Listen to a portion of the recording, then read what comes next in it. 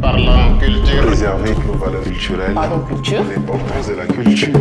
Si tu avais le pouvoir d'écrire en fait les recommandations dans une lettre et l'envoyer à un responsable culturel, qu'est-ce qu'on va retrouver dans ces recommandations? Premièrement, c'est de pouvoir encourager la culture.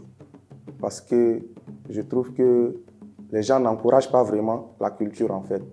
Même des, des, plus hautes autorités ne donnent pas vraiment de la valeur à cette culture. Et ça, c'est un réel problème.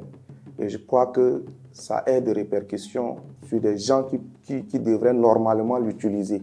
Parce qu'aujourd'hui, si les autorités, eux, n'arrivent pas à tendre la main, à, à promouvoir en quelque sorte la culture, les artistes ne pourront pas s'en servir normalement. Parce qu'il faut que l'aide vienne d'en haut. S'il y a un soutien qui vient d'en haut, ça va vraiment motiver ces artistes à pouvoir les utiliser très régulièrement. Pourquoi pas organiser des AOR pour remettre peut-être aux artistes traditionnels, ou soit meilleure chanson traditionnelle de l'année par exemple. Ça va encourager les artistes à beaucoup plus se perfectionner dans le côté tradi, culture tchadienne, pour pouvoir aussi être un jour distingué par un prix, tu vois. Donc il y a beaucoup de choses que les gars peuvent euh, très bien initier, organiser ou faire pour pouvoir encourager les jeunes à pouvoir promouvoir aussi la, la culture tchadienne. Ok, afin d'améliorer la culture Oui, d'améliorer en fait. Parlant culture.